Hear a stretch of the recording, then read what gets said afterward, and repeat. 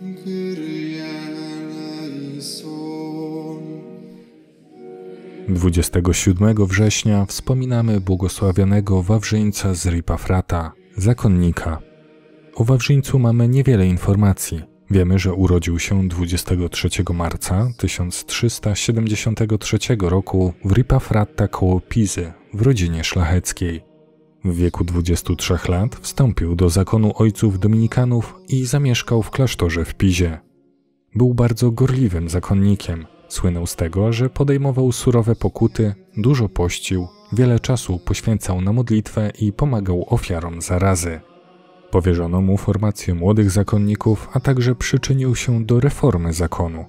Pod koniec życia Wawrzyńcowi wiele bólu sprawiała chora noga, lecz przyjmował te cierpienia w duchu pokuty. Zmarł 27 września 1456 roku w wieku 83 lat. Jego kult zaaprobował papież Pius IX w 1851 roku. Módlmy się.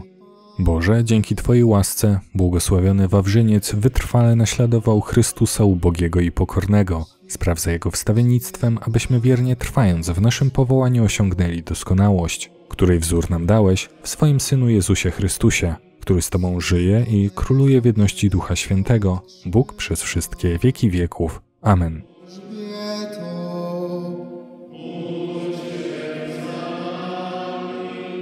Wszyscy święci, święte Boże.